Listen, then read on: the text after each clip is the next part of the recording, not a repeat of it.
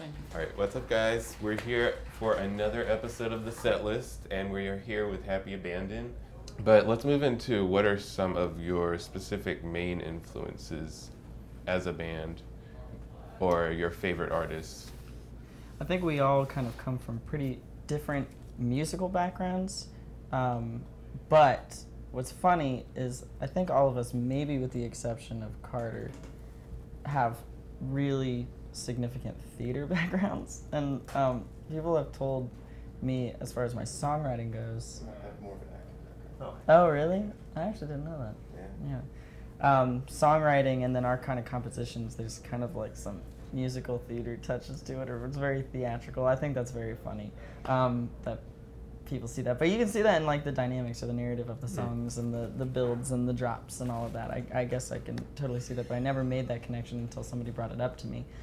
Um, but my own personal musical uh, influences are like my I usually tell people my three favorite musicians are Sufjan Stevens, Andrew Bird, and Conor Oberst, for pretty different reasons. But um, I mean, I think you can see why. Like lyrically, they're all pretty incredible. Um, compositionally, I think Andrew Bird is phenomenal. Um, but their style, I think, is also very different from our style. Mhm. But as a songwriter, um, it's really pushed me in, in a very narrative direction or a very You can relate literature based. Yeah, uh, definitely. I think so.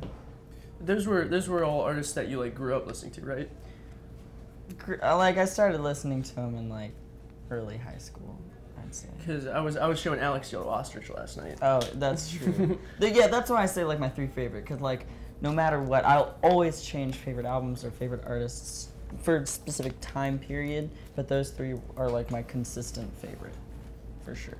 Like right now, I'm really into the Districts, and Yellow Ostrich is always huge for me, and Lady Lamb and Courtney, Courtney Barnett. Her album is phenomenal, but those three artists that I mentioned are like my go-to favorites.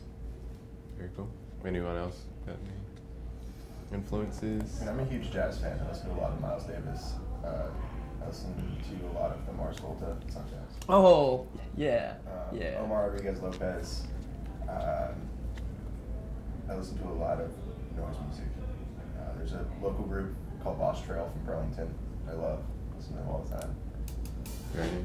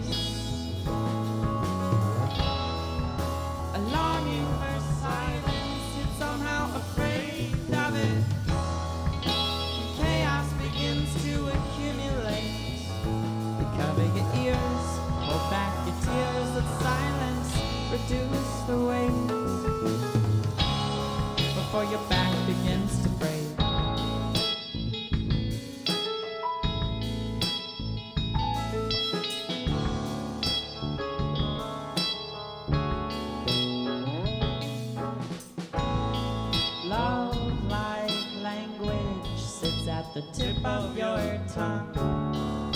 Softly spoken, but lost in translation.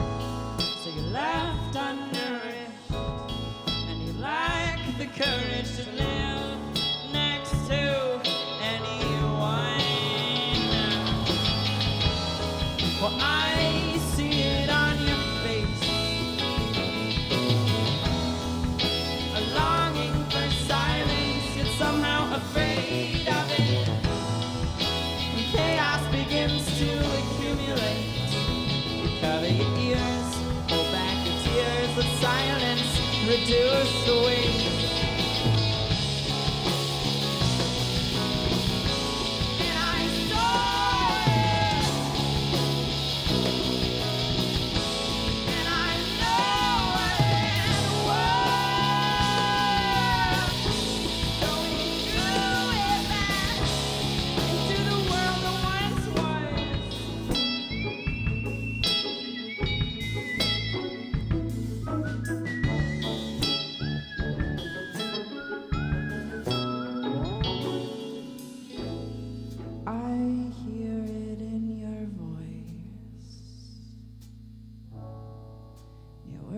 Distorted, hidden within all the noise, but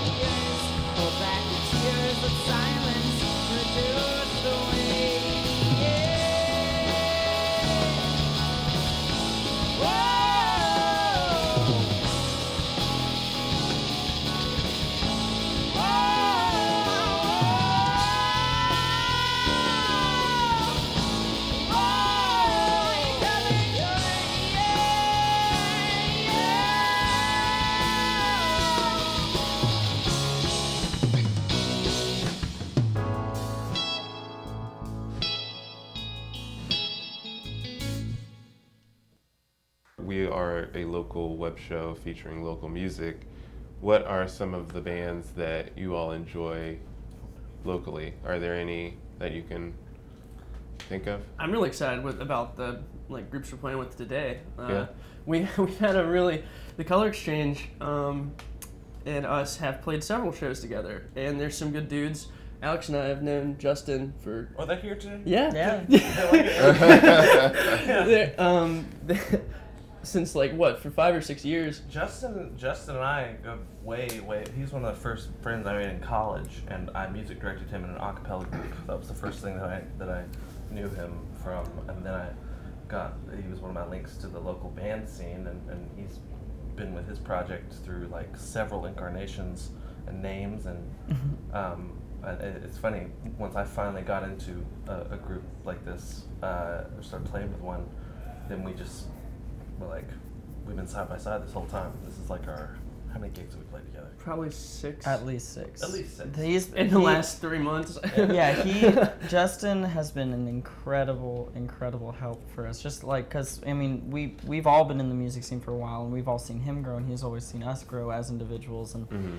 he had a lot of faith in us, I think, and he had a gig, you know, uh, ready to go in in Washington D.C., Oh, yeah. which is where I'm from. got us our first show. and so he asked if we would play because you know I, I could bring a crowd out to any show in DC um, just because I, I lived there my whole life and it, it was a fantastic show and uh, then he got this opportunity to see what we sounded like and so you know he would ask us to play you know he played we played for his album release show we played together at Tir Na Nog for their local band local Oh, yeah. beer all, all sorts of stuff so we we expect to continue the relationship as and grow together as bands for sure Very cool. Well, that's awesome. And so, transitioning kind of from everyone to your music, is there any? I know you're a relatively new, early stage band, but is there any? Are there any releases that you have out now? Can we find your stuff online? Is it physical? Everything's physical um no we That's, that's pretty meta. Thank Transcending. um, we uh, we are in the process. We are finished studio work for this five song EP Mhm. with John Custer, who's this producer. He's One of amazing. one of the smartest guys and most talented producers that I've met. Um, I don't know if that's saying a lot. Grammy because- winning, right? What? Grammy award winning. Yeah, think, yeah. right? Um, and he's worked with great bands like CSC and Big Something. Um, yeah, yeah. And so yeah, we we've been working on that. Sawyer family. Sawyer Family. Um, so that should be released hopefully by the end of the summer because it's being mixed now by him, and then we goes into mastering. Um, but for now, we have this kind of unreleased demo version of probably what we're calling, and correct me if I'm wrong, our single um, of the song "Heavy Lines," which is one of the first songs that John helped us with, and he he loved it. He was so excited about it that we just recorded it and just threw it out there. We wanted people to hear it. Um, That's the whole reason I'm here. that's the only reason. he's here. I, heard, I heard the demo. I was like, wow, oh yeah, I guess. I want to be a part of this. Yeah, Give it to me. um, I'm sure we'll have other media nuggets along the way. for sure, we'll have videos. There's a lot of I mean, live videos. a lot of live videos. Uh, That's the that- internet. Has yeah. everything. You know. Yeah. Well, I believe that should be it for today. And thank you for talking to us. Thanks we so uh, look forward to your set today. If you want to check out Happy Abandon's music, you can go online, their website. happyabandonmusic.com and our Facebook is just Facebook. There's links on the website. Just go to the website. There's Instagram, Facebook, there's Instagram, Twitter, yeah. all sorts of stuff. All the social media.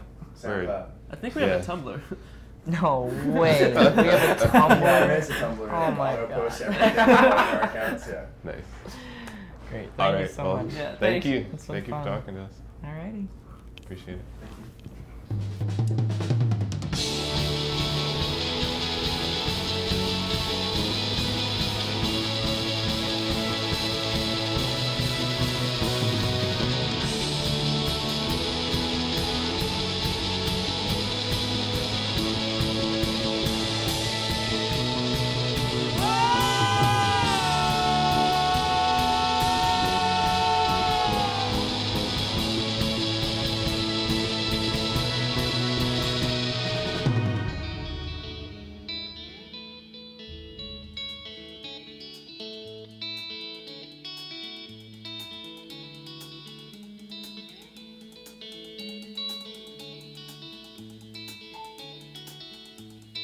Heavy lines lie across your face. Through busted lines bent by time's slow pace. You live lost in the night's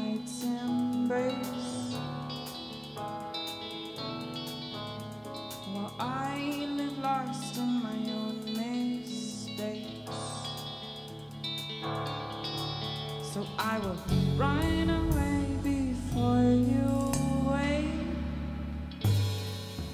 I'm inclined to stay, but it's too late. We've thrown away what once was great. So I will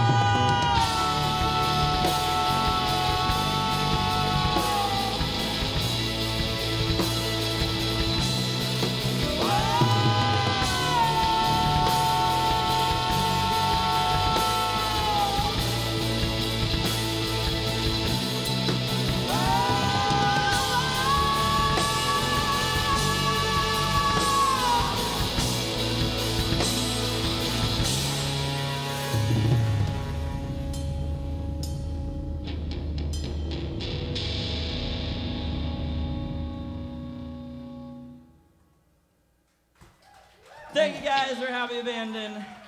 Thank you to the Setlist for having us.